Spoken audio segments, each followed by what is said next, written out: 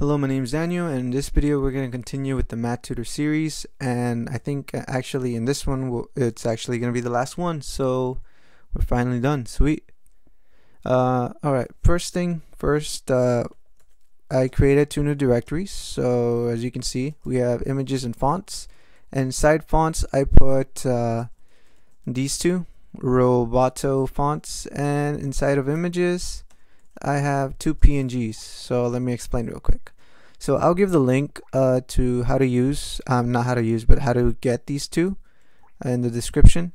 And also a link to how to get these two. So these two will be in the GitHub repo. So that way I'll just give you a link to the repo and then you can just uh, download it from there and add them.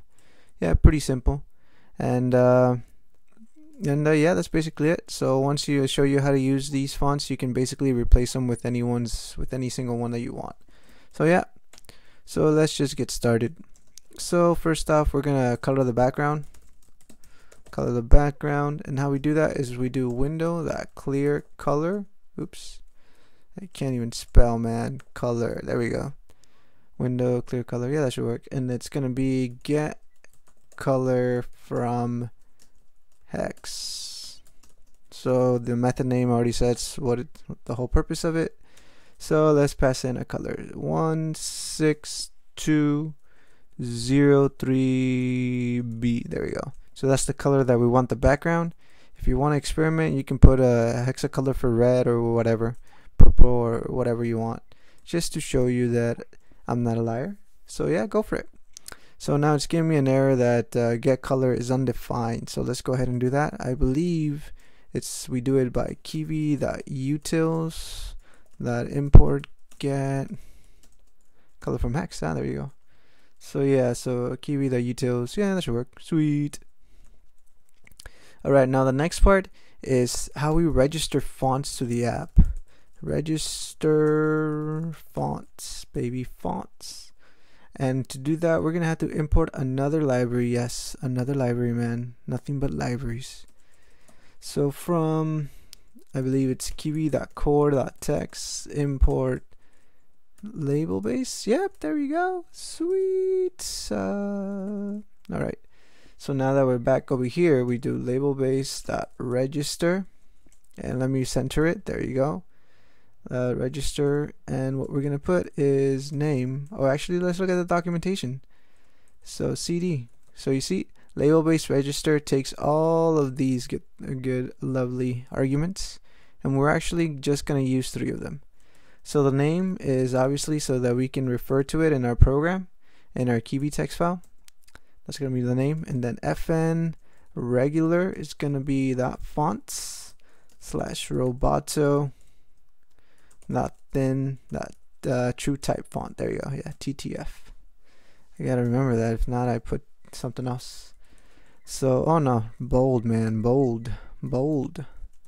And then it's gonna be fonts slash roboto. Roboto. Oh, someone just sent me a message. Roboto slash medium that TTF. And let's see. Hmm. I think that's it. Yeah, that's it. Alright, cool. And what is this complaining now? Found one. Ah, okay. So let's just give it another space and ta-da! There you go. So yeah, guys. So you just officially registered fonts right there. Bam! Look at that. That's pretty simple, huh? Gotta love Python. Alright, now that we're done with that, we're gonna go to the Kivy file. So let's go to the Kivy file, and then what we're going to do here is actually just a couple of things. So let me do something on the other screen because I have notes. I finally made notes for the videos. I finally make notes on the last video. Way to go, man. Way to go. Alright, so now that we're here, the only thing that we need to uh, add to this one is the font name. Oops. Font name. And that is going to be, uh, you guessed it, Roboto. There you go. See how easy that is? And also what we're going to do is do button. And when we do, uh, uh, when I do this, since button is already defined, once I do this, I'm saying, hey, apply all these rules to all the generic buttons that we already have and anything that inherits from button. from button. Dang it. Can't even speak, man. Alright, so font name is going to be, you guessed it, Roboto. Font size is going to be, uh, let's just choose the minimum height. And uh, what's up with that? And then self, what's up with that, man? Did it used to do that before? I don't even remember. with. So just choose the smallest from those and then just divide it by 4. Make life easy. Simple as that. And then we do bold. And yes, we do want it bold. And then background normal. Why can I never type, man? Why can't I never type? Normal. So it's going to be images slash button normal dot png. And let me just copy this because I'm lazy. And now background normal. It's not, oh, come on. It's not going to be normal. It's going to be, uh, what is it? Down. There you go. And when it's down, it's going to be button down. There you go. Bam. Simple as that. So let's see. And also the background color. Now for the background color, we're going to have to use the same method we, as we did in the main.py file, which is the get color from hex. And the beautiful thing about Kivy is that we can import stuff from Python library, from the Python library. So how we do that is do, you see the little pound sign, followed by the colon, alright? So this is very important. Pound sign follow, followed by colon, that's very important guys. If you don't type that, if you just type like that, it's going to be a comment. But if you put the colon, it's a command now. Yep, Amazing, huh? Alright, so import, just do what I do. Color. Uh, uh, let's just put it at upper. Color dot kivy dot utils uh, that get color from hex. There you go. So this is what happened. We're saying, okay, we're gonna import a library, and it's gonna in the name that we're gonna name it as in this file is color.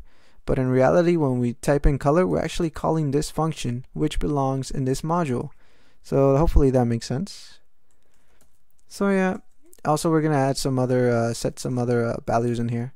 So how we can set uh, variables within Kivy file is we do this set, bam, and remember the colon right there because it's a command. So we do set red, the so now we set a variable named red, and what that variable stands for is the color red, the hexadecimal value for red. So it's going to be F uh, 94 F94 A69. Yep, red ta-da. And then we're going to do set green. Same for that one. 0 6A 5AB I believe. Yep, there you go. So the reason why it might look different from actually the reason why it doesn't look like the colors is because these are different uh, different uh, variation kind of like a different uh, tint or whatever of the color and plus I have something called uh, where is it oh oh wow I don't have it well I have this program uh, that kind of dims the screen for me a little bit makes it yellow. That way it makes it easier for my eyes. So sometimes the colors are skewed. So it's not always what the color that I see on the screen. Anyways moving along. Once we have that we're gonna go back to the um, to where we were the background color. And we're gonna call color. Simple as that. And we're gonna pass in the hexadecimal value. And come on. So that is gonna be 00 zero that's 66 BA so that's just a custom color custom color that I want for all buttons and actually I could have just made that one as blue up top, but eh, whatever. Alrighty, so after that, what we gotta do is, let's see. I know that I gotta go to, let's see. So let's go to mix. We're gonna go to the button called mix because we want that one to be different. So now all the buttons are blue. So now we gotta specify on each individual button that we don't want it to be blue. So for example, division multiplication, they're already set to blue because we already defined it up on top. So how we can override that custom definition is by writing it inside the block itself like this. So we're going to do background color and then we're going to do color and then we're going to pass in for mix uh, let's pass in green You guys can obviously pass in other colors just to mess around. But for this, we're just going to put the colors that I'm putting down. So color red. There you go. So there you go, man. Simple as that. So now the background color for mix is green, and the background color for this is uh, is red. So yeah, I mean that's pretty straightforward. Oh, one thing I forgot is to put the border right here. Border, and I believe it's 222. And I'm not quite sure. Um, this basically has to do with the way that the images are drawn. So, for example, if you want to know more about it, about this, just Google it. So, for example, search. Uh, let's see, what can we do? Kivy button uh, border, and then Google it, and it popped up a new window. And look at that, Kivy documentation, and then just look for border, and there you go, all that good stuff. So documentation is good for a reason, and it's there for a reason as well. All right, so once I have that, I think that's the only other thing that I need to do. Um, I don't remember anything else. Uh, oh yes, the clear button. Yeah, so this one I also wanted to change color. So background color, I want it to be uh, red as well. Red as well. And then on on the math pop-up, let's make the separator color green. Separator color color uh, green. Oh wait, why did I just put C on that one? Color. There you go. So I think that should work. So let's go to um, um oh what the heck? eShell. Let's go to the shell and then let's run it. And hopefully I did not screw up anything. Oh, look at that. Exactly how I want it. Addition. Oh, look at that font. Even the font has changed. Look at this. Look at this. How beautiful is this? How beautiful is this? So let's go with two. Oh, look at that. It changed as well. And let's see.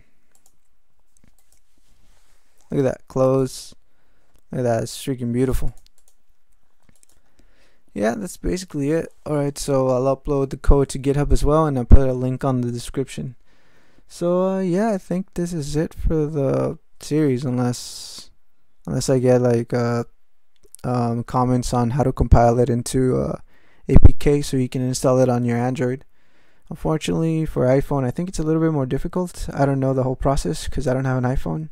So yeah, yeah, whatever. Alright, sweet. This is finally over. Alright, thanks.